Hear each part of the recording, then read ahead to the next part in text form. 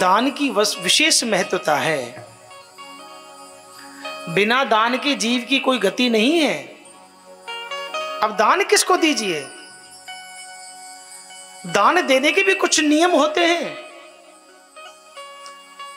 भूखे को भोजन कराओगे, निवस्त्र को वस्त्र पहनाओगे, प्यासे को पानी पिलाओगे तो आपको दुआएँ मिलेंगी। एक घड़ा भरा हुआ है और भरे हुए घड़े में तुम पानी भरोगे तो कहाँ जाएगा? छलक जाएगा और खाली घड़े में तुम पानी भरोगे तो भर जाएगा। अरे जिसका पेट भरा हुआ है, उसको तुम छप्पन भोग खिलाओगे ना भैया? वो विष के समान लगेगा और भूखे को तुम सूखी रोटी खिलाओगे तो अमृत का समान लगेगा।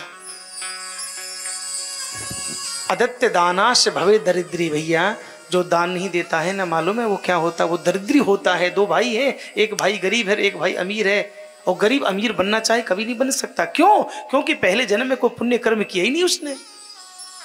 अदत्य दाना से भवे दरिद्री, जो दान नहीं देता, वो अगले जन्म में दरिद्री होता है। और दरिद्र भावश्य करोति पापम। देखो भैया, जब दरिद्री होगा तो अच्छा काम थोड़ी करेगा। किसी की चोरी करेगा, किसी की जेब काटेगा, उसके मन में बुरे बुरे विचार आएँगे। दरिद्र भावश्य करोति पापम, और पापम प्रभावा नरकम प्रयाति। और पाप करेगा तो बैकुंठ थोड़ी मिलेगा उसको उसको तो नरक मिलेगा।